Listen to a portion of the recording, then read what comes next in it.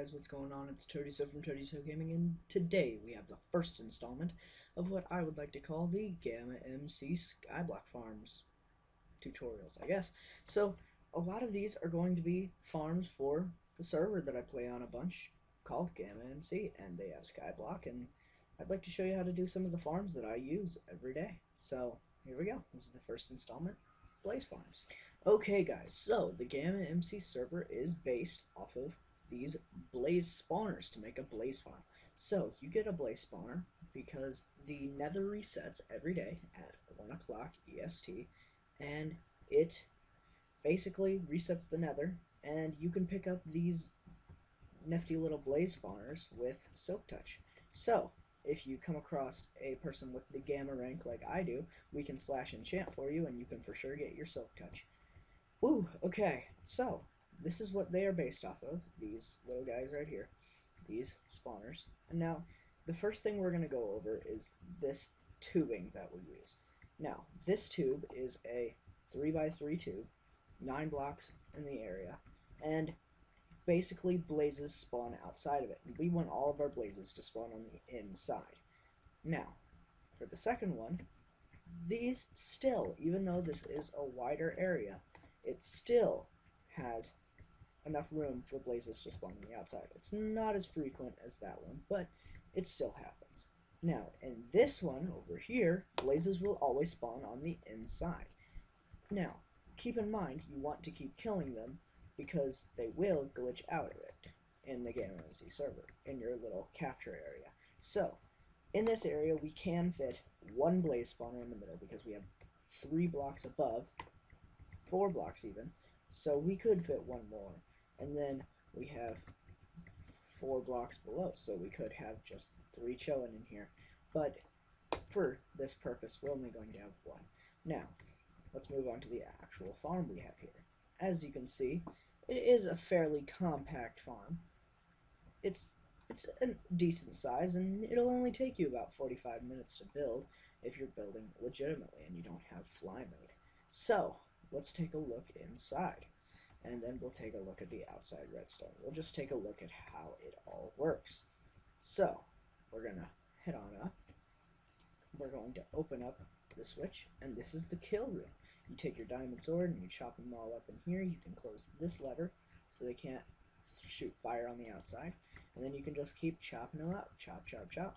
We can open it back up. and go in here and flick that lever and we have fire resistance potion chests reserved. We have brewing things. So if we do not have God mode, we can have fire resist to go in there. Now we're going to head up to the maintenance section. And this bit of redstone here is not necessary. You only need one half of this. I only did it so it would look symmetrical on the outside. Now, let's go take a look into the maintenance section. Okay guys, as you can see, we're on top of the blaze farm now, and we have climbed the ladders to get up here. Now, let's hop on in.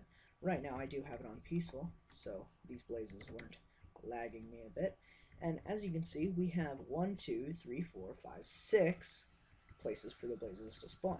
They have a three block room to spawn up, three block room to spawn down, and three blocks out to spawn, so they will not escape.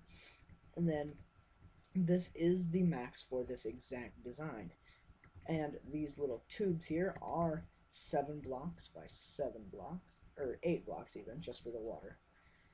So seven across, eight down, seven across, eight down.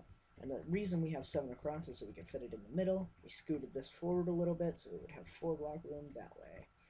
So it would be even and the water wouldn't flow down into this one. This is where the blazes will end up. And yes, blazes do take damage from water, but if the blaze were to spawn all the way back on this end, it would only get hurt 16. A blaze has 20 health. So it will be a one-shot kill with a wooden sword even. So we are going to move on to the actual redstone. And the redstone isn't really all that much. You don't even really need the redstone. The redstone is just the doors here. So let's head on out and we'll check out the redstone. Now, as you can see, we have a bit of redstone wiring coming down here, a repeater to hit the top of that and get the bottom part of the door. And then we go inside and you can see we have the piston there and the redstone is powering that. Now, what we can do is we can hop on in here, and we can break this redstone here, and it will still be closed. Here we go. Let's go check it out, just to prove to you that we only need one half, and it still will work just fine. It will still work just fine. Oh, I broke the wrong side. Make fun of Logan. He is a noob scrub. Okay. You can break this side. you do need the side with the lever on this side, so you can close this door back up.